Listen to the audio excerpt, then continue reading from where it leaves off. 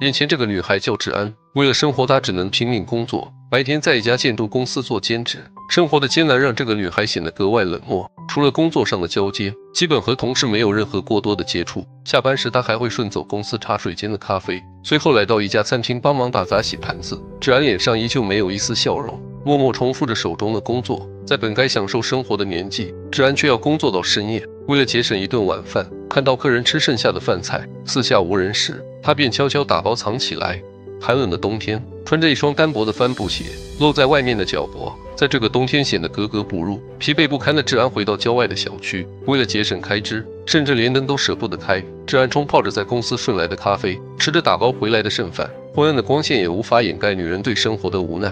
忽然，房间的灯被人打开，一个男人出现在角落里，他叫李天日，他不是治安的亲人，也不是朋友。而是来要债的。此时的治安没有做出任何举动，甚至连头都没有回，而是习惯地掏出身上的钱丢给男人。面对高额的巨债，治安只能拼命工作。即使这样，光日还是经常打扰治安的生活，甚至时不时出现在自己房间。这是治安最讨厌的。治安之所以这样努力的活着，是因为他还有一个聋哑奶奶需要照顾。这时电话响起，又是疗养院打来的。奶奶在疗养院已经拖欠了很久的费用。治安没有接听电话，因为他已经没有多余的钱来缴费。第二天，治安来到疗养院，他只能坐在走廊的尽头，不敢出现。疗养院的护工在奶奶床前大声地告诉奶奶，已经拖欠费用很久了，如果再不缴费，就要被撵出去。护工阿姨还猜测奶奶可能已经被抛弃了。此时的治安听到了一切，看似脸上没有任何表情，心里却十分难受。面对没钱缴费的他，又能怎样？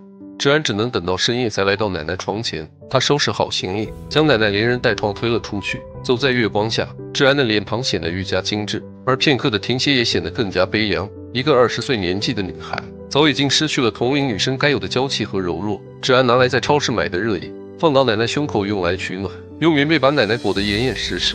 面对没有办法的治安，只能求助唯一的好友小宋。等了许久才到来的小宋显得有些尴尬，刚想上前解释，却被棉被里的奶奶吓了一跳。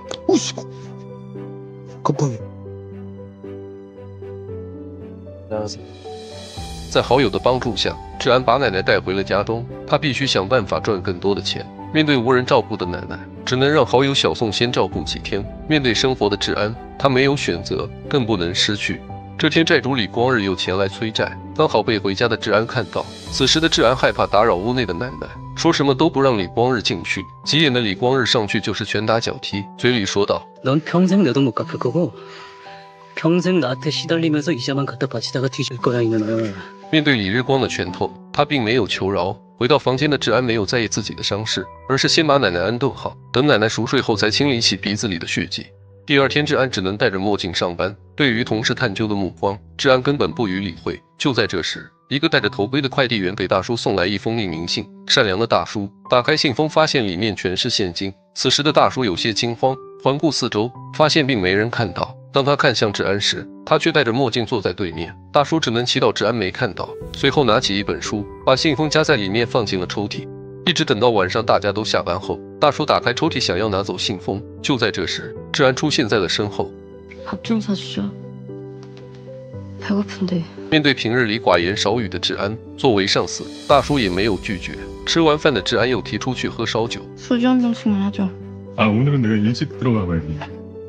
虽然大叔觉得有点奇怪，随后两人还是来到了酒吧。大叔焦急地喝着烧酒。喝完酒，两人分开后。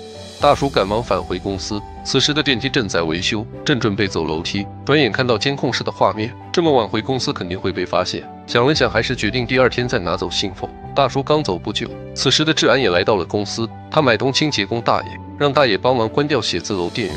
就这样，他利用时间差，一口气从楼梯跑进公司，拿走了大叔抽屉里的信封。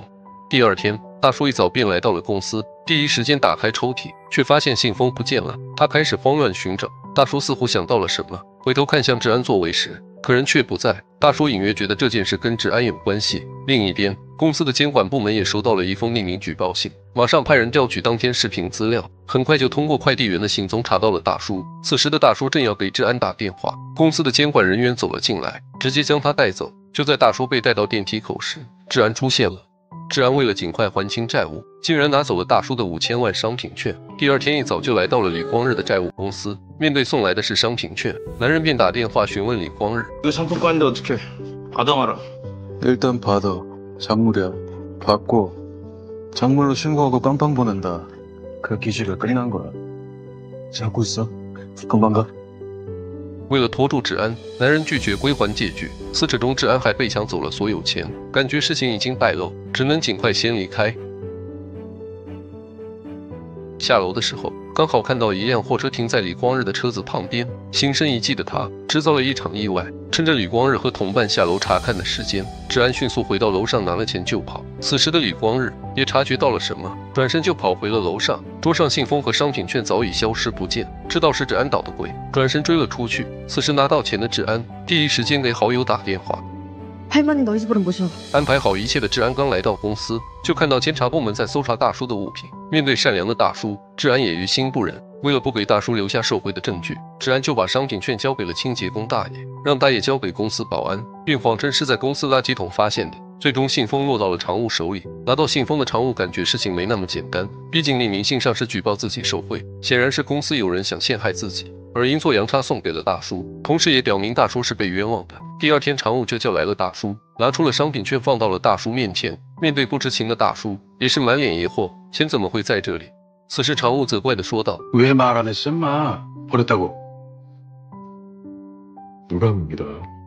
但毕竟已经洗脱了嫌疑，便承认商品券是自己丢垃圾桶的。回到办公室的大叔时不时的会看向治安，他不明白治安为什么要这样陷害自己， 他想把事情给问清楚。下班后，办公室的同事基本上都走完了，这时的大叔才来到治安面前。 늦게 끝나나? 네. 내가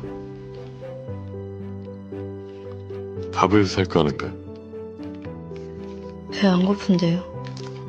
面对治安的拒绝，大叔只能独自离开。可就在回家的地铁里，治安却发来的信息， 밥 좀 사주죠. 이지안입니다. 两人约在了的铁口见面。寒风中，此时的治安已经在地铁口等了很久。 뭐 먹을 건데? 비싼 거요. 此时的大叔并没有说什么。随后，两人来到一家日料店，桌上精致的食物，大叔始终没有动过筷子，只是默默地喝着酒，看着治安一个人在吃。也许此时的大叔内心充满了对治安的感激。你能想象和领导共坐一部电梯，能发现什么样的秘密吗？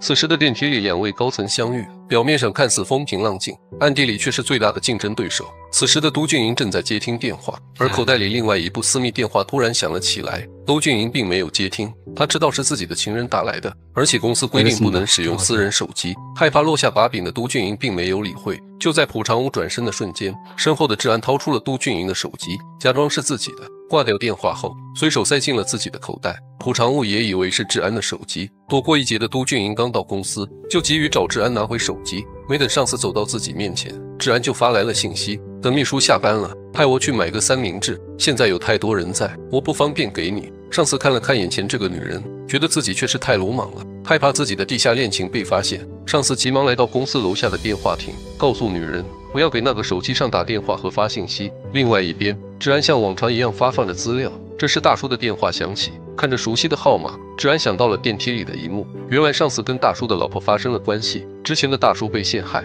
也不是巧合。这时的治安才明白了一切，看着对面全然不知的大叔，他甚至有些同情眼前这个男人。直到晚上，所有人都离开了公司，治安也如约送来了上司的手机。归还手机后，治安并没有选择离开，而是大胆地说出了自己的猜测。 일개 부장 하나 자르려고 왜 저렇게 혈안이 돼 있나 싶었는데 전화번호 보고 알았어요. 그 번호 박동훈 부장 핸드폰은 집사람이라고 뜨던데요.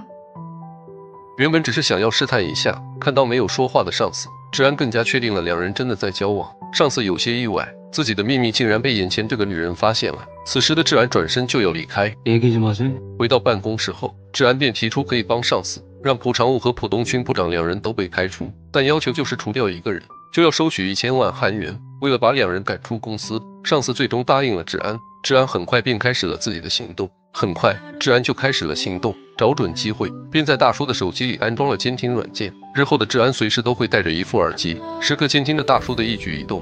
这天，大叔在跟同事无意的聊天中，发现通过购买商品券记录就能查到陷害自己的幕后主使。大叔立马打电话给朴长武，两人约定在天台见面。然而这一切都被治安看到了眼里。通过监听两人的谈话，得知他们通过线索很快就能查出真相。治安立刻给上司打去了电话。 박상무 백화점 연출 통해서 법인카드로 5천만 원어치 긁은 알아본대요. 得知消息的上司感觉事情要败露，先是打电话给手下，让其想办法补救，随后又找到治安，催促他尽快把两人赶出公司。治安通过监听大叔和朴长物的谈话，得知朴长物会和百货公司的人在 KTV 见面，便让自己的好友扮成外卖小哥，在 KTV 寻找朴长物的房间。 저 김밥 시키신 분! 김밥! 김밥 시키신 분! 김밥! 김밥 시키신 분! 뭐야?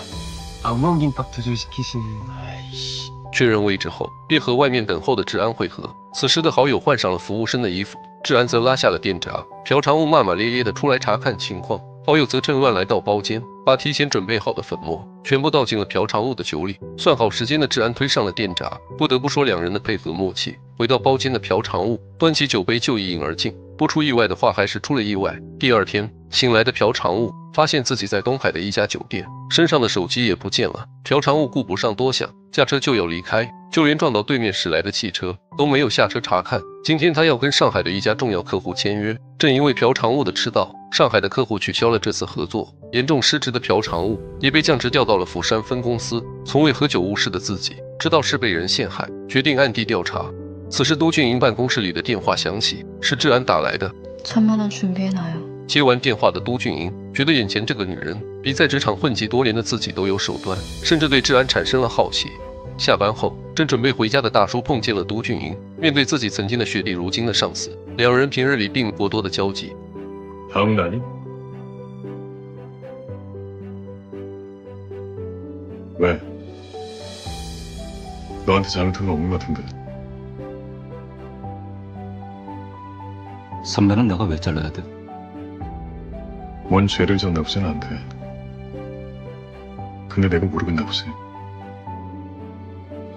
此时的大叔似乎已经感觉到了什么，但是他并没有说出来。也许是不想破坏心中的美好，或许是在用自己的方式挽回。在深夜的街道上，女人含情脉脉地看着大叔，不知所措的大叔慌忙推开治安。面对突如其来的亲吻，大叔脸上充满了紧张和疑惑。他不明白治安为何有这样的举动， 难道是最近两人的相处让治安对自己产生了爱意，还是治安别有目的？其实这一切只是治安策划的一场阴谋。在不远处的角落，刚刚的一幕已经被治安的好友拍了下来。第二天早上，来到公司的大叔当着所有人的面就要辞退治安，同事们都在猜测两人发生了什么，能让大家心中的老好人做出这样的决定。此时的大叔也许是害怕被陷害，或许也怕自己喜欢上治安。大叔开除治安的想法，却遭到了自己上级领导的拒绝。害怕这样的事情再次发生，大叔决定叫来治安谈话。 재밌냐? 나이 든 남자 갖고 놀면 재밌어? 그냥 남자랑 입술 닿아본 지가 하도 오래돼서 그냥 대봤어요. 한 번만 더 그런 짓 하면 그땐 사유 다 얘기하고 자를 테니까 그렇게 하라 随后，都俊营又约见了治安，责怪他以后不要擅自行动。治安接过装有一千万酬劳的信封，告诉都俊营自己已经开始对大叔下手了，并把两人的吻照传到了网上。上司埋怨治安太心急，公司接二连三的发生问题，很容易被怀疑。结果上传的吻照很快就被公司的一名女员工发现了，还故意的在治安面前说 아니 키스할 때 여자가 남자한테 이렇게 까치발 들면 여자가 하고 싶은 거지 남자가 하고 싶은 게 아니라 此时的治安恍然大悟，立刻给好友打去电话，让其帮忙删掉照片。晚上回家的治安刚好看到李光日从自己房间出来，生气的将手中装有一千万的信封扔给了他，并警告他以后不要再出现在自己家中，否则剩下的债款一分都不会还。被激怒的李光日对着治安又是一顿拳头。明明已经收到钱的李光日，为什么还要对弱小的治安百般纠缠呢？原来治安的父母在生前欠下了巨额债务，一次债主上门讨债，看着奶奶被债主殴打。十五岁的治安为了保护奶奶，失手杀死了债主，而那个死去的债主正是李光日的父亲。这也正是李光日如此折磨治安的真正原因。此时的天空下着漫天大雪，治安拖着严重的伤势走在回家的路上。二十岁的治安在本不该承受的年纪，却坚强地承担着一切。回到家中的治安，又像往常一样照顾着奶奶。奶奶一眼就看到了治安脸上的伤，心疼的追问是怎么弄的。看着眼前的治安，奶奶是既担心又心疼。为了不让奶奶担心，治安哄骗奶奶，说是自己不小心摔的。可奶奶根本不信。奶奶追问：“是不是打我的那个人打的你？”治安告诉奶奶，那个人已经被我杀掉了。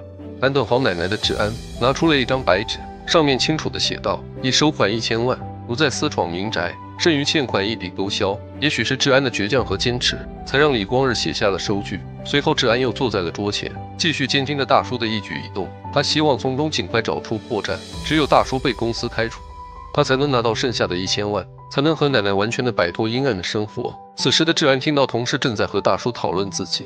네개업을어쨌길래그만두라고하신거예요넌그렇게안불쌍하니 상처받은아이들은너무일찍커버려꽤보여그래서불쌍해걔지난날들을알기가听到这些话的治安，眼中充满了不甘和伤感。也许是从未有人对自己如此了解。其实，再坚强的女人，内心也有柔软的一面，只是在人前假装坚强而已。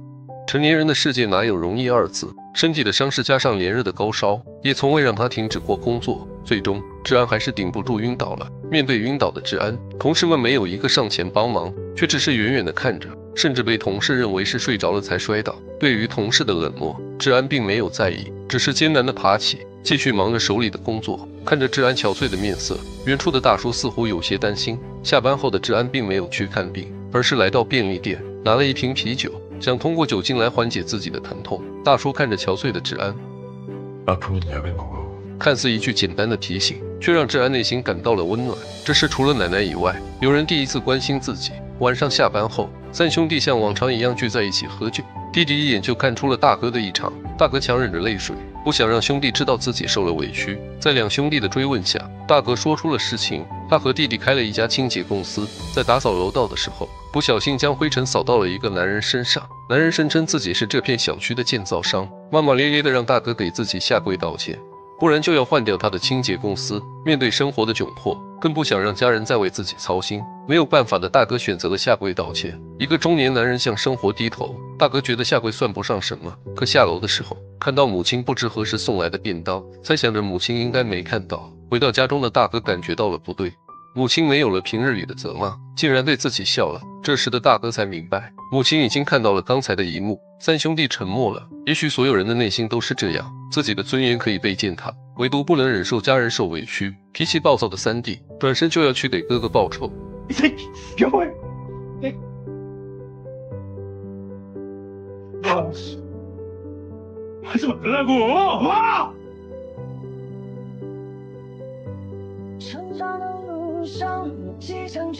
看着失去理智的三弟，大叔只能拼命的拦着。他不想因为一时的冲动，让这个家庭失去更多。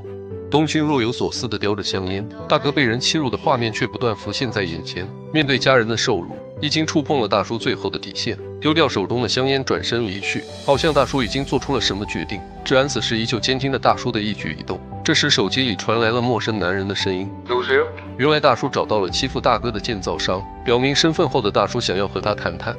나도무릎꿇은적있어뺨도맞고그와중에도다행이다싶은건우리가족은아무도모른다고식구가보낸다서그러 그땐죽여도이상할게없어两段莫名相似的经历，让治安回想起曾经的往事，被触动内心的治安也流下了眼泪。大叔希望男人去家中给哥哥道歉，却被眼前的男人拒绝了。这时，大叔从包里拿出一把锤子，对着墙面就是一通乱砸。作为结构工程师的大叔，一看就知道哪里存在着违规建造。面对此时的大叔，男人很快就认怂了，只能乖乖拿着准备好的果篮来到家中赔礼道歉。그날 죄송했습니다제가요새되는일도없고술도좀마시고했어서죄송했습니다 들어와요밥먹고가요아아니에요죄송합니다죄송합니다大叔的坚强让事情得到了圆满解决。晚上，三兄弟又聚在了一起。不一样的是，多年的好友静熙回来了，一群朋友聚在一起喝着烧酒， 聊着开心的话题，却只有大叔开心不起来。他想起了志安说给自己的话。누가나를알아나도걔를좀알것같고좋아 슬퍼.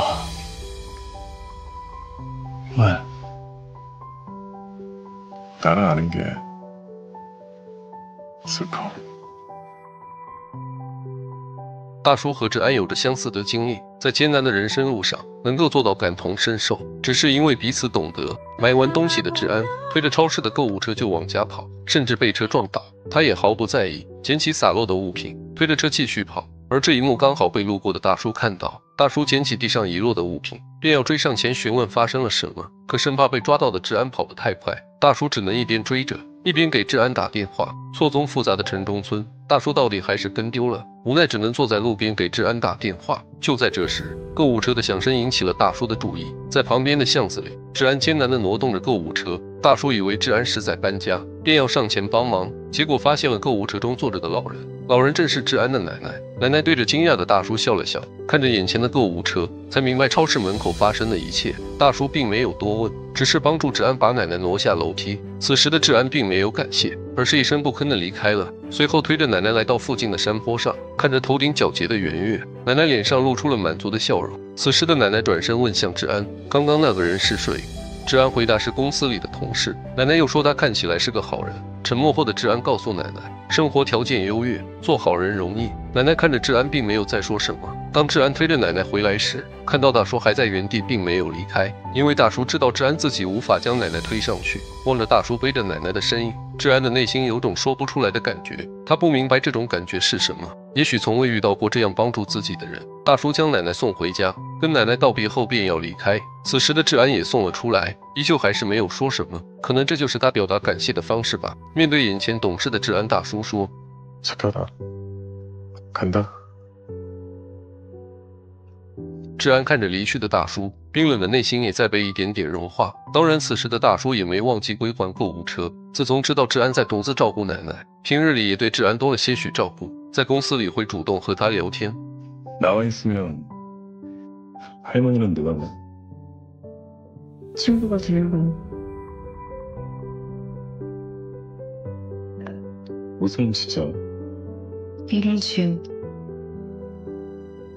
아는 현아가 아니야. 좋다. 이름 잘 지었다. 这天晚上，公司同事聚餐，大叔也会叫上志安一起。 이주현 씨, 회식 같이 가지? 같이 가. 고기 먹어. 所谓的照顾，不仅是生活上的照顾，也许大叔想让志安能和同事更多的相处，也让志安的生活中充满阳光和欢声笑语。到了餐厅的志安，依旧是一个人坐在那里。正在大家开心喝酒的时候，都俊营开门走进了餐厅。老板突然的出现，热闹的场面戛然而止。这时大家都起身问好。故意找茬的尹长务指责大叔的组员没规矩。 어른이 왔으면 인사 좀 해라. 저희 인사했는데 벌써 시작했냐? 어른도 알았는데? 부장이 저 모양이니 진짜. 일로 와. 인사해. 一直忍让的大叔并没有说什么，只是无奈的走进包间敬酒。都俊营举起酒杯，示意大家一起。这时的尹长务又站起来呵斥着 누가 대표님보다 자를 높게 들어? 사모님 그러지 마세요. 편하게 먹고 마시자는 자리에서. 酒桌上，大叔被尹长务不断的使唤。面对尹长务的挤兑，这一幕被大叔的组员小胖看在眼里。喝醉的小胖就要为大叔打抱不平，拦着要走的代表说：“听说你是东勋部长大学时的学弟，那么至少在私下也要叫他一声学长。”听到这里的东勋赶忙上前阻拦，因为小胖的出言不逊，尹长务便要动手，拉扯中，尹长务把大叔推了出去。 卢俊英生气地来到车前，告诉尹长务今天发生的事情，一定不能让上头的领导知道。一场轻松的同事聚会，却被不请自来的两人搞成了闹剧。失落的大叔独自走在回家的路上，漫天飘落的雪花，犹如大叔此时的内心。昔日的雪地，如今这样挤兑自己，也许大叔是真的疲惫了。转身离开时，一不小心却摔倒在地上。担心的治安也停下了脚步，仔细听着耳机里传来的呼吸声，直到没有了声音。此时的治安似乎害怕着什么，奋力地朝着大叔的方向追去。原本监听只是为了拿到报酬，最终却成为了他和大叔之间的纽带。治安看着逐渐远去的大叔，但是两人的内心却在不断拉近。在下属面前颜面扫地的都俊营，此刻更加坚定了要赶走大叔的决心，便叫来了治安。刚见面就指责治安提供的消息不准确，在东勋的抽屉里并没找到那份通话记录。就在刚才同事聚餐的时候，卢俊营让公司的监察部门已经去大叔的抽屉里搜查过，可并没找到朴昌武给大叔用来调查自己的通话记录。治安说他们的通话录音你不是也听到了吗？第二天上班，大叔还被要求写书面检讨，他越想越生气，决定开始反击。大叔调查上司通讯记录时，发现频繁和一个公用电话联系。通过上网查询，很快就找到了电话亭的位置。没想到的是，电话亭就在妻子工作的楼下。这时妻子也刚好经过。大叔说自己刚办完事路过这里，随后两人来到旁边的餐厅。餐厅里，大叔只是一言不发着吃着饭。妻子问起了大叔离职的事情，考虑的怎么样？大叔并没有回答，回想起了朴长武给自己说过，公司有人想趁机开除自己，加上妻子一直劝自己离职创业的事情，大叔有了一种不好的预感。为了证实自己的猜测，吃完饭的大叔并没有离去。而是在公用电话对面的咖啡厅坐着。人也许就是这样吧，明明害怕真相，却总是还要去查找真相。最终，大叔不愿看到的一幕出现了：妻子走向了电话亭，拨打的电话。他不相信和自己生活十年的妻子会这样对自己。来到电话亭，回拨了妻子刚刚打过的号码，听着电话里传来都俊英的声音，彻底让大叔的猜测得到了验证。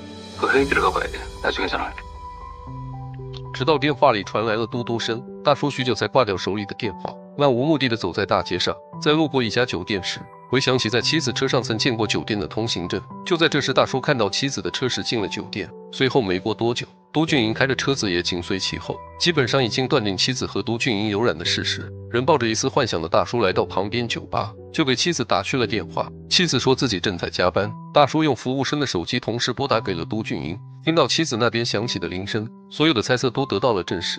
此刻的大叔并没有揭穿，强忍着内心的伤痛，回到家中呆坐在沙发上。他不明白妻子为何会背叛自己，回想着之前发生的一切。 감이떠봤어요어디가세요저새끼나한테죄송다그게작년봄이었어요작년봄第二天，两兄弟约自己来到球场，可此时的大叔哪有心情去踢球，只是坐在那里，想到妻子的埋怨。 당신보면짠하다가도우라통터져 밖에나가서좀봐딴남자들당신나이어떻게하고살아좀보라고心如死灰的大叔随后便独自一人来到大桥上。这时监听大叔的治安也通过定位发现大叔在桥上站了很久，治安开始担心起来，拼命的向大桥的方向跑去。此刻他不想大叔出现任何意外，无论是同事还是亲人，他都心疼着大叔，甚至保护着大叔。看着大叔和兄弟离去的背影，治安紧张的心也放松了下来。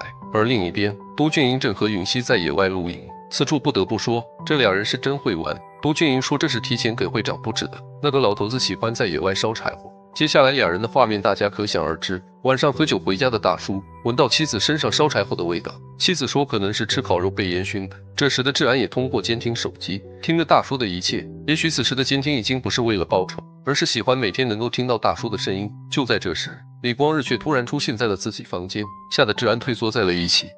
这天喝醉的李光日又来到了治安的房间，毫无察觉的治安被吓得蜷缩在一起。原来今天是李光日父亲的忌日，也就是在五年前的今天，治安失手杀了他的父亲。李光日拿着手中的祭品，就要喂给奶奶吃。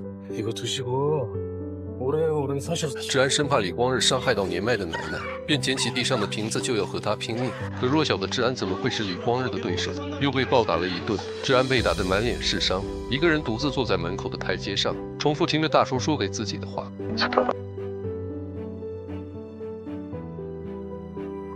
也许此时只有听着大叔的声音，才能让自己内心能够多一分坚强。这天，治安的一个动作引起了金代理的不满，对着治安就发起了火。야, 너 뭐 믿고 배짱이냐? 어? 야, 뭐 믿고 파견직이 정규직한테 갑질이냐고? 어? 그만하세요. 아. 大叔的出现让大家瞬间安静了下来。他找来同事询问事情的原因，同时只知道治安上次聚餐时打了金科长，具体什么原因他们也不知道。下班后，大叔看到在等地铁的治安，便上前问清楚打人的原因。在大叔的一再追问下，治安说出了实情。 原来就在上次聚餐时喝醉的金代理说了大叔的坏话。如果是自己早就辞职了做大叔的部下真是丢人。这一切不能怪都俊英只怪咱们有一个窝囊上司。所以治安才打了他听到这些话的大叔一路上始终都没再说什么。也许是平日里自己用心护着的部下私底下对自己是这样的看法。治安看着此时沉默的大叔感觉自己说了不该说的话熟悉的路口大叔正在给金代理打的电话。大叔并没有责怪他，只是让他说了十遍我错了。이말내가너한테아싶지않 다. 한.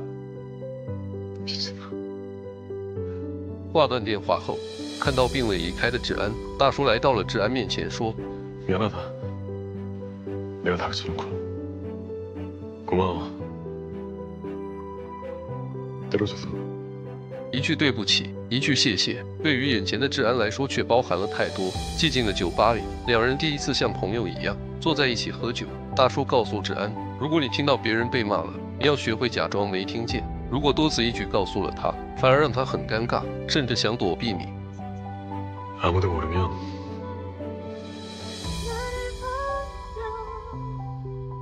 아무 일도 아니야. 그러면 누가 알 때까지 무서울 텐데. 누가 알까? 또 누가 알까? 모른 척 해줄게. 너에 대해서 무슨 얘기를 들어도 모른 척 해줄게. 그러니까 너도 약속해주라. 모른 척 해주겠다고.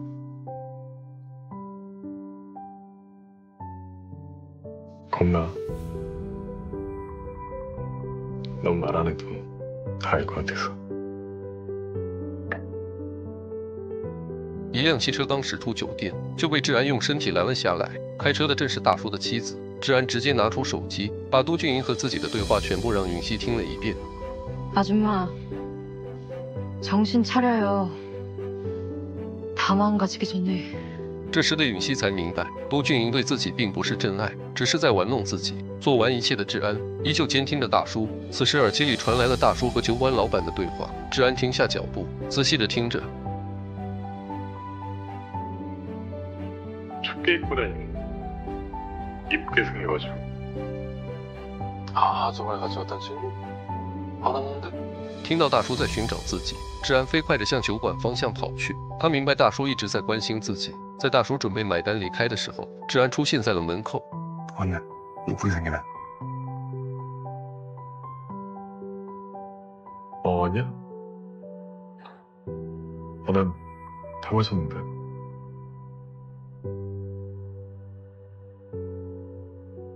더해요 大叔给志安倒满了酒。两个相互了解的人，有时候只是一句简单的话， 행복하자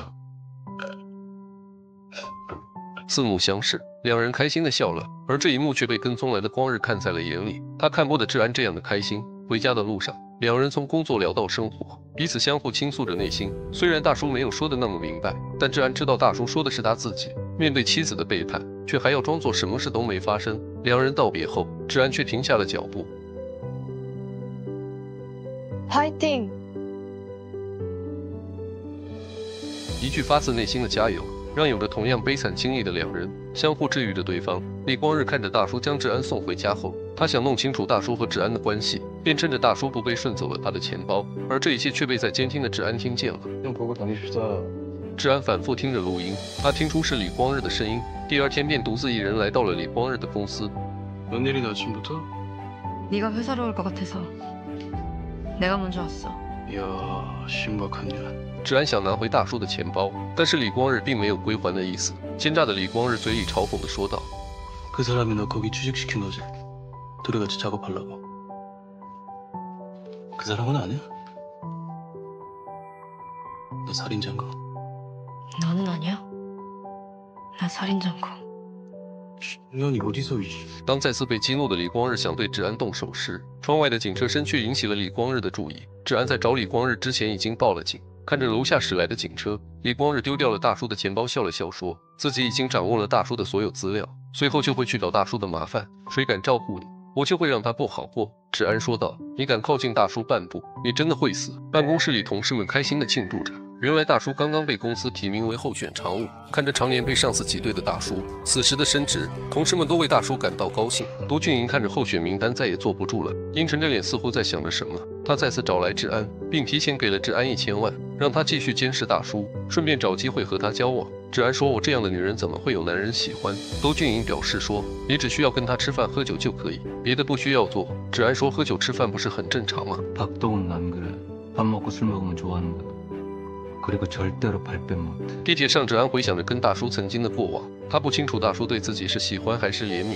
手里的一千万和善良的大叔，让治安内心非常的矛盾。治安看到车外的大叔，才发现自己没有出站。到了下一站，治安匆忙的往回赶，他感觉大叔一定会在站口等着自己。看着匆忙跑出站口的治安，好像在寻找着什么。这时，一辆飞驰而过的摩托车，让转身的治安看到了大叔。 뭐 하다 못 내리고 정신을 어디다 대고 回家的路上，治安鼓励着大叔一定要当上常务，把那个欺压自己的都俊英彻底打败。听到治安说的话，大叔也感觉到了眼前这个小姑娘对自己有着不一样的感情，便用长辈的口吻说。两人告别后，回到家的治安拿出疗养院通知入院的信息给奶奶看。奶奶担心的问起，是免费的吗？是之前背你回家的那个大叔告诉我的。奶奶虽然是聋哑人。但对于治安的苦，他心里比谁都清楚。看着以后不会再因为自己而拖累孙女，奶奶感激的流下了眼泪。第二天，大叔接到了李光日派人打来的电话，询问起之前有没有丢失过商品券，还把治安拿着商品券抵债的事情完完整整的告诉了大叔。大叔这才知道，治安偷走商品券只是为了还债，而并非是想帮助自己。大叔本以为自己了解治安，但如今面对治安所做的一切，他觉得自己看不懂眼前这个女孩。在地铁口，大叔就要和治安道别，甚至是治安的邀请，大叔都拒绝了。第二天，大叔为了弄清事实，找到了那天捡了商品券的清洁工大爷。通过大爷的口中，得知了治安的悲惨身世。治安的父母生前欠下高额债务，留下六岁的治安和奶奶相依为命，每天都被讨债的人折磨着。光日的父亲就是最大的债主，不还钱就打。每天的折磨让治安失手杀死了光日父亲。因为光日父亲的死。痛恨治安的光日便每天拼命找治安的麻烦，甚至每次都会对治安动手。治安没有办法，才拿了那五千万。得知真相的大叔内心充满了自责和难过。大叔决定要去找李光日。 그놈 지금 어디 있어요? 大叔从清洁工那里得知真相后，便来到了李光日楼下。以前的大叔只是同情治安的遭遇，直到今天他才知道治安背后的艰辛和善良。大叔决定要为治安做点什么。 누가 광일이야? 대군 누구세요? 나? 박동훈 너야? 随后两人来到了屋外，大叔询问李光日治安欠了多少钱，剩下的债款他会一起还上。可李光日并不想就此放过治安，告诉大叔少管闲事。在大叔的一再追问下，李光日一拳就打在了大叔脸上。此时赶来的治安也从耳机里听到了两人打斗的声音。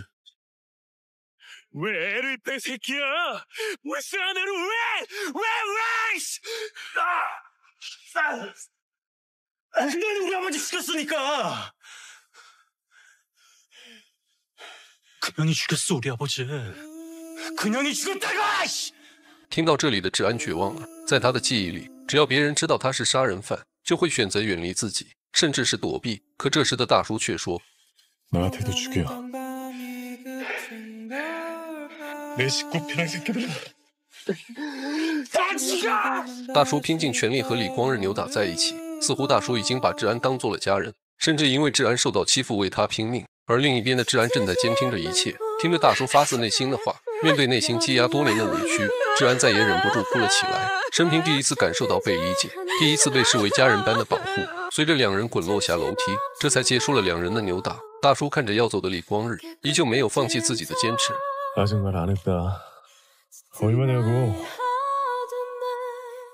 李光日并没有理会，头也不回的离开了。回去的路上，有个好友发现了大叔，并把大叔被打的事情告诉了三弟。小区的朋友得知大叔被打，全都跑了出来，喊着闹着要去找那个人。走到半路，就碰到了受伤的大叔。面对朋友们的追问，大叔只是说自己不小心撞到了别人，对方骂了自己，才跟别人打了起来。看着平日里从不惹事的大叔，大家都不相信。此时的酒吧外，治安静静地站在路边，他担心大叔的伤势，可自己却没有勇气走进去。被酒吧的人看到后，只能假装刚好路过。第二天一早，治安并没有去上班，而是来到银行，把之前都俊英给自己的一千万直接给李光日转了过去，还清了之前欠下的所有债款。治安不想因为自己的事而牵连到大叔。昏暗的路灯下，治安依旧穿着单薄的帆布鞋，手里拎着买好的礼物，等待着下班回来的大叔。缓缓向大叔走去，将手上的礼物送给大叔。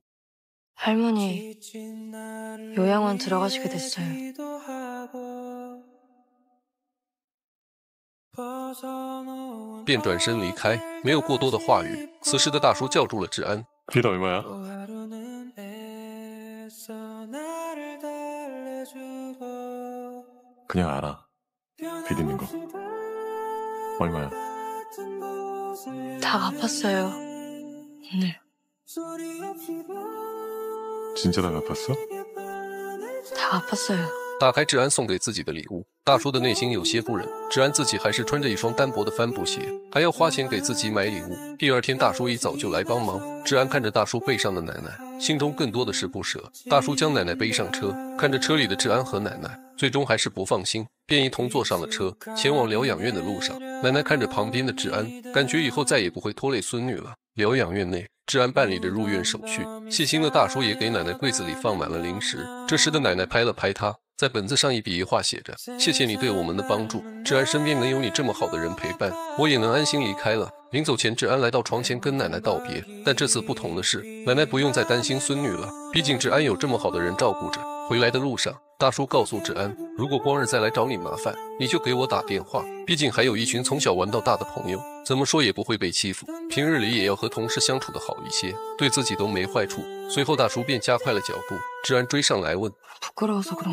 这时的大叔却加快脚步跑了起来，原来是为了赶上已经到站的班车。酒吧里昏暗的灯光下，大叔独自喝着闷酒，眼前不断浮现出妻子跟上司亲热的画面。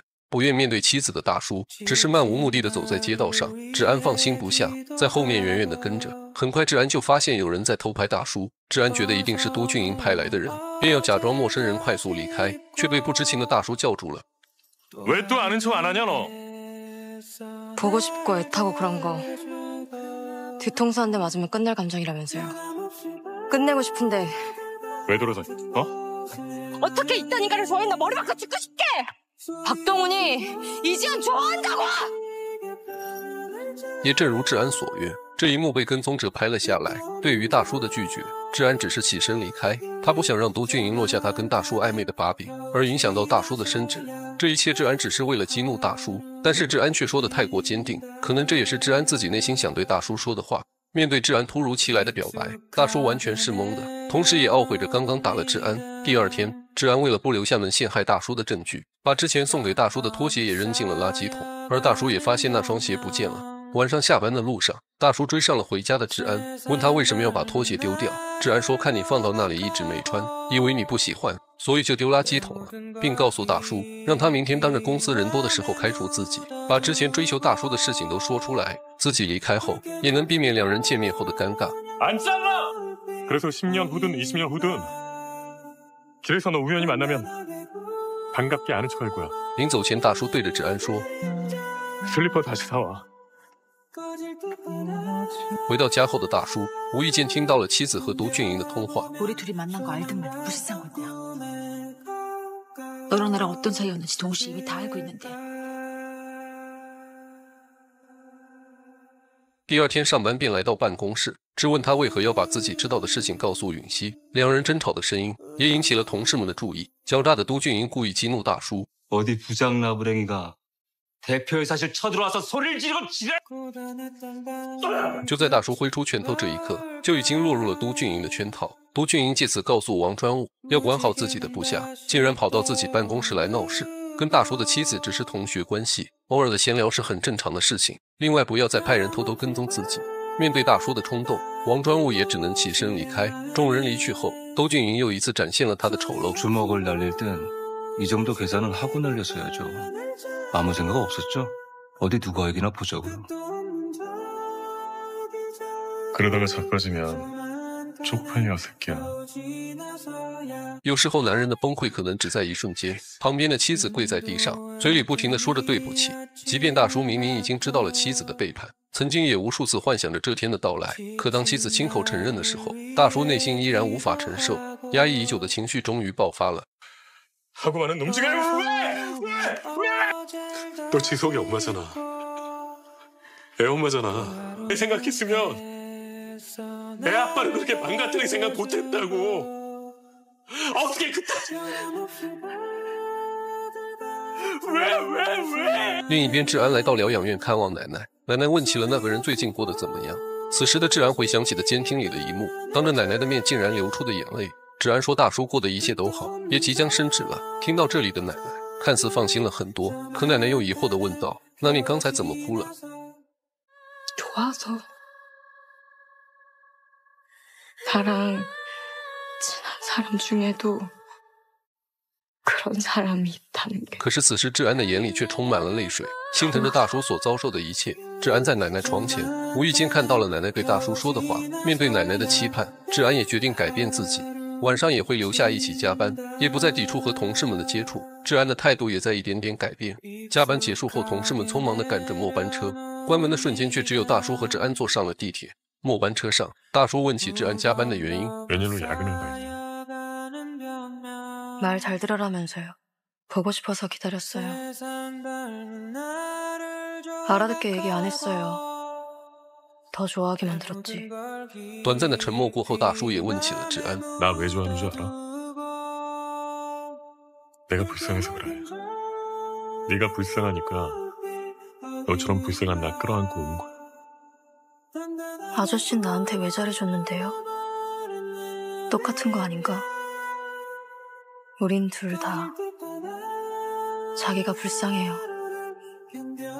大叔和志安走在回家的路上，刚好碰到喝完就准备离开的朋友们。大叔解释道：“这是公司的同事，因为加班太晚，所以想送他回家。”众人也向志安问好。 在静熙的提议下，大伙便结伴同行，一起送治安回去的路上，大家说笑着聊着曾经的过往。静熙也感慨着治安的年轻，可治安却说：“生活太过悲惨，倒不如时间能过得快点，这样人生就不会太累了。”志安的话让所有人的目光都看向了他。此时的静熙挽住了志安的手。也许只有生活悲惨的人才懂得志安话语中的含义。跟志安道别后，大家便要离去。面对眼前陌生而又善良的人，志安说着发自内心的感谢。 감사합니다. 平日里寡言少语的志安，却在公司竞选会上让会长刮目相看。志安表示，东勋部长并没有因为自己是派遣工而和正式员工有区别对待。 좋아했나? 네. 当所有人听到志安肯定的回答时，都认为大叔要失去这次竞选资格。可志安接下来的话，也让反对大叔晋升的人始料未及。志安说自己喜欢大叔是因为尊重，也正是因为大叔的一视同仁，才觉得这是一家不错的公司。他非常感谢公司和大叔，在公司工作的三个月里，让他感受到了人生中最温暖的时刻。 여기서 일했던 3개월이 21년 제 인생에서 가장 따뜻했습니다.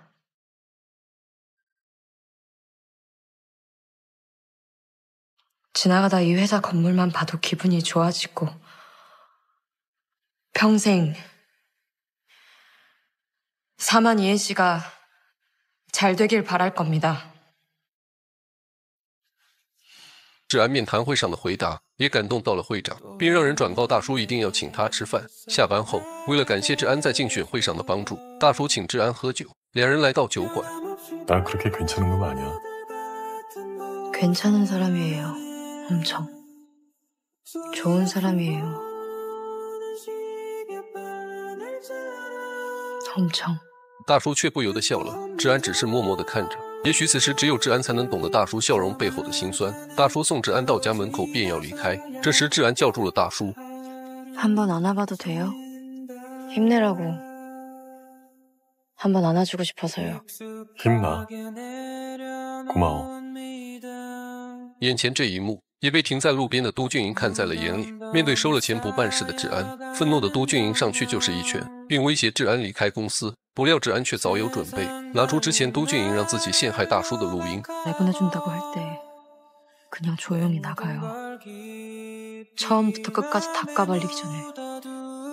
都俊营并没有想善罢甘休，而是找人来调查治安，并想办法拿回录音。 治安从朴长务和大叔的谈话中得知，朴长务一直在暗中调查之前被陷害的事情，感觉马上要败露，便把事情告诉了好友小宋，劝他和自己一起逃跑。治安却拒绝了，希望再等自己一天时间。他想等大叔顺利升职后再离开。很快，警察就查到了小宋。 아, 친구랑 있지.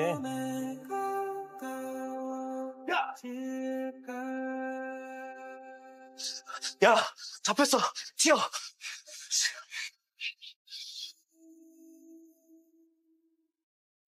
此时，光日也来到了小宋的住处，在警察到来之前搬走了电脑和录音。志安知道自己很快也要逃亡了，便给大叔发去了短信。 내일 인터뷰 잘하세요. 아무것도 아니에요. 大叔一如既往地压制着内心的感情，他并没有给志安回复，只是对着窗外说了声谢谢。 고맙다. 可大叔不知道这声谢谢却被另一边的治安听到了。第二天一早，治安便背上了行囊，开始了逃亡之路。今天是竞选常务的最后一次面谈，大叔却发现治安没来上班，便让职员打电话询问情况。治安的电话却一直无人接听，同事便劝大叔先参加竞选。为了阻止大叔升职常务，会议上尹常务找着各种问题刁难大叔，但都被大叔过硬的专业知识一一化解。无计可施的尹常务最终调出了治安的简历，质问大叔为何要选择没有任何资质的人，并且已经查出治安有杀人前科。听到这里，在场的人都觉得不可思议。大叔只是平静地回答道：“那不是杀人，只是属于正当防卫。那种情况下，任何人都会那样做，所以法律才会判他无罪。”一肚子坏水的尹常务说道：“明明知道他是这样的人，为什么还让他继续留在公司？” 왜 이 자리에서 이지한 씨가 또 판결을 받아야 되는지 모르겠어. 어떻게든 법이 그 아이를 보호해주려고 하거든. 왜 그 보호망까지 풀어가면서 한 인간의 과거를 그렇게 붙들고 들어지십니까? 여기 회사야! 회사는 기계가 다니는 데입니까? 인간이 다니는 데입니다. 此时，志安也听到了大叔所说的一切，被人保护的感觉让志安瞬间流下了眼泪。竞选面谈结束后，大叔看到志安依旧没来上班，无意间在抽屉里发现了志安送来的拖鞋。大叔回想起昨晚志安发来的短信， 似乎是在跟自己道别。大叔不断重复拨打着志安的手机，可依旧是无法接通。晚上，大叔找遍了所有能找的地方，依然没有志安的消息。无奈的大叔只能来到志安的住处，破旧的房门并没有上锁，屋内却是空无一人。失落的大叔来到静熙的酒吧，一遍遍重复拨打着志安的手机。静熙告诉大叔，早上见到志安背着行李走了。 에이, 괜찮더라.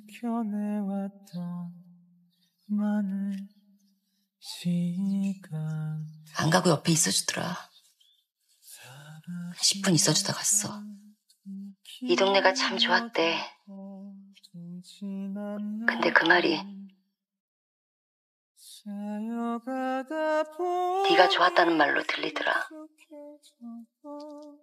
此时的大叔独自走在熟悉的街道上，不同的是，旁边已经没有了治安的陪伴。 脑海里不断回想着静熙说的话，忽然电话响起，看着陌生的号码，大叔并没有接听。然而那个号码又再次打了进来，听着熟悉的声音，大叔是既开心又生气，指责般的问向治安： 일찍도 전화한다. 너 어디야? 어디야? 처음이었는데. 네 번 이상 잘해준 사람.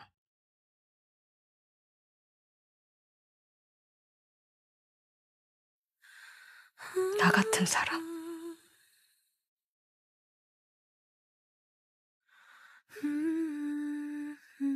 내가 좋아하는 사람.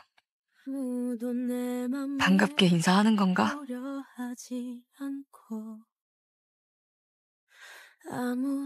응. 끊을게요.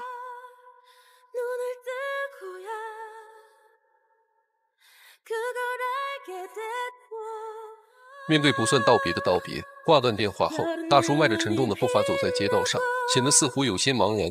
此刻，办公室里收到了大叔晋升常务的通告，同事们也纷纷送来了对大叔的祝福。正式被任命让大叔也十分开心。可当目光看向治安的位置时，却让大叔感到有些遗憾。三弟也把哥哥升职的事情告诉了母亲。面对东勋的升职，一家人也开心的抱在了一起。下班的路上，大叔独自走在熟悉的街道上。治安的离开让他感到有些失落。大叔拨打着治安的手机，却发现号码已经成了空号。此时的大叔开始有些慌张，他害怕从此再也无法找到治安。另一边，朴常务也通过警察对小宋的审问得知，感觉自己和大叔两人很有可能已经被监听。之前的事他只跟大叔说过。果然，就在大叔的手机里发现了监听软件。朴常务断定治安一定是都俊营的人。随后，大叔来到电影院，为了让治安认为自己一直在看电影，便把手机放在了座位下面，自己则把都俊营约了出来。还没来得及下车的都俊营，就被大叔一把揪了出来，并质问他让治安都做了什么。面对已经离开的治安，都俊英把所有的错都推给了他，并声称自己也是受害者。 절대 안 잡히겠대. 죽어라 도망다니겠대. 잡히면 시작점을 불어야 되는데 선배 인생 공개적으로 개망신 당하는 건데 선배가 제일 무서워하는 게 그건 거 걔가 아는데 直到这时，大叔才明白，治安是为了保护自己才悄然离开。回到座位，大叔对着被监听的手机， 이지연 전화 줘. 내 얘기 다 듣고 있는 거 알아.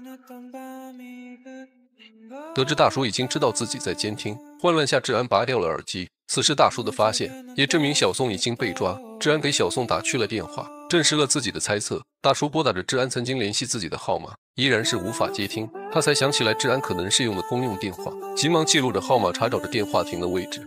这也被正在监听的治安听到了。 아, 예, 고맙습니다. 공중전화 위치 좀 알려고 하는데요. 아, 예, 번호가요. 02-750-3199고요.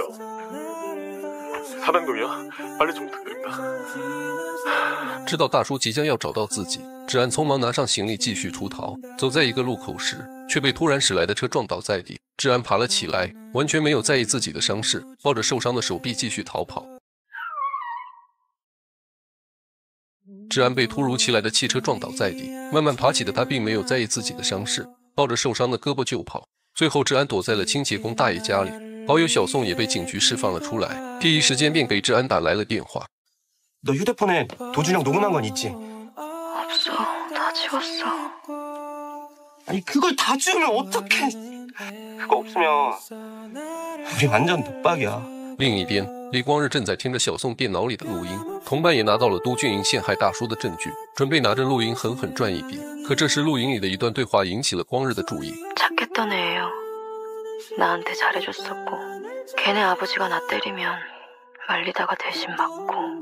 听到这里的光日，也回想起了曾经和志安的过往。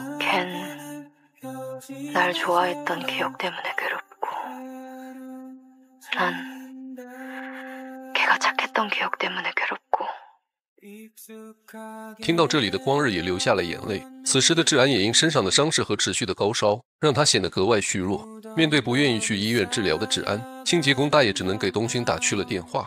得知治安下落的大叔飞快地向治安那里跑去。此时的清洁工大爷已经在门外等候着，大爷焦急的眼神中也透露出对治安的关心。大叔犹豫着打开房门， 看到眼前的治安，大叔是既心疼又自责。此时的治安却显得有些害怕，害怕大叔知道他所做的事情而厌恶自己。大叔只是坐在治安面前，给治安说着谢谢。大叔知道治安为了保护自己不被伤害，选择出逃，默默地承受着一切。 너, 나 불쌍해서 마음 아파하는 걸 못 보겠고, 난 그런 너, 불쌍해서 못 살겠다. 看着眼前的治安大叔，心疼地说着：“你这么小的年龄，怎么能可怜我这样的大人？真的让我心里太难过了。我们只要好好幸福的生活，其他什么都不重要。” 아저씨가 정말로 행복했으면 했어요.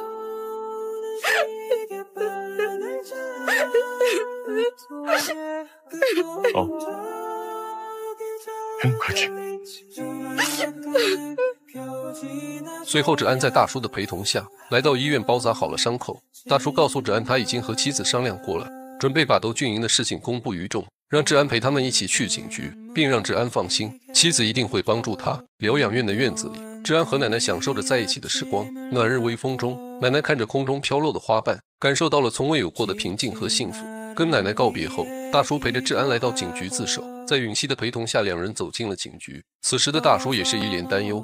审讯室里，治安交代了所有事情，而都俊英却完全否认了自己的罪行，声称这一切都是治安的污蔑。回去的路上，大叔打来了电话，询问着事情的进展。允熙告诉大叔，电脑录音被偷，现在没有证据指证都俊英。而就在这时，得知治安自首的光日正在拷贝着电脑里的录音。同伴知道光日要拿录音帮助治安，在一旁懊恼地埋怨着。第二天，正在上班的大叔接到了治安打来的电话。哦， 할머니 돌아가셨대요. 原本冷清的葬礼，在三兄弟的操办下显得隆重而又温馨。大哥也通知了小区的朋友来祭拜奶奶。 这时得到消息的清洁工大爷也来到了奶奶的葬礼上，祭拜完奶奶，大爷看向参加葬礼的众人，隆重的葬礼让大爷感到欣慰。 복 있으시다.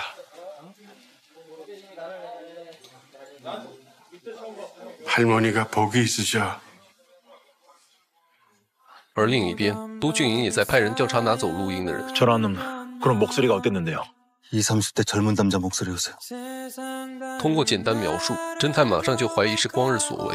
很快，一群人便来到了光日楼下，这一幕也刚好被同伴看到，急忙装着已经拷贝好的 U 盘。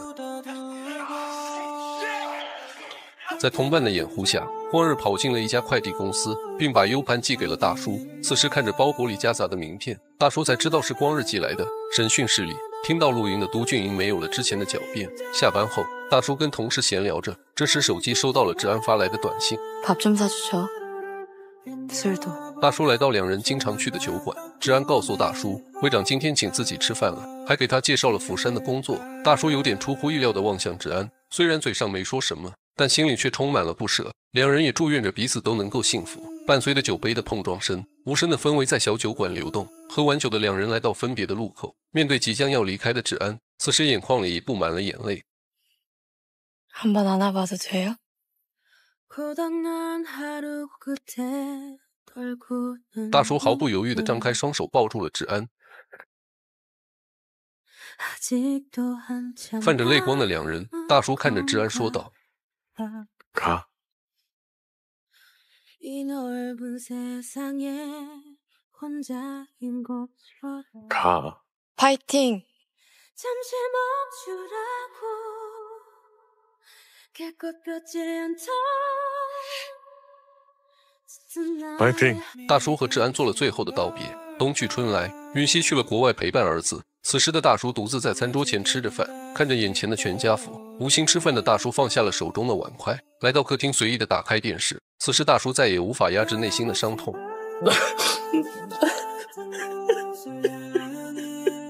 时光飞逝，接下来的一年里，他们各自发生了很多事情。大叔也辞掉了原来的工作，创建了自己的公司。看着办公桌上的照片，唯独就是没有大叔和妻子的合照。我们不难猜测大叔和妻子是否已经离婚。而另外一边的治安带着满满的能量，创造着全新的自己。治安因为工作表现优异，也被公司调回了总部，跟同事来到公司楼下的咖啡厅，看着熟悉的身影，治安只是静静的待在原地。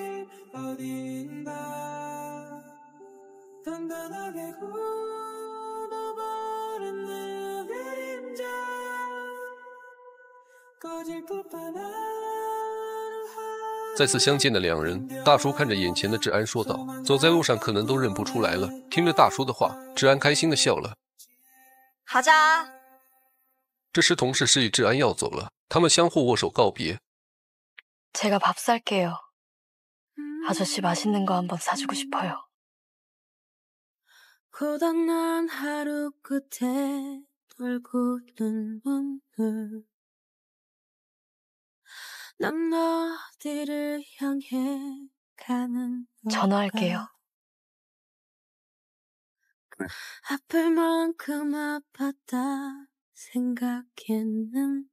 分开的双手，两人背向而走。大叔回头望着志安的身影，而心有感应般的志安也回头看向了大叔。从一点点的了解到彼此相互治愈着对方，此刻的转身离去，也许正是一个新的开始。到这里，这部高分韩剧已经结束了。感谢大家一直以来对我的陪伴和支持。